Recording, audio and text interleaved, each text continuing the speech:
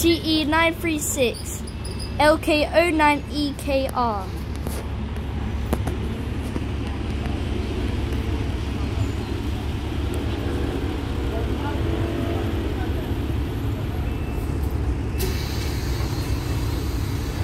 Three of these old Enviro 400 remain at Potter's Bar bus garage.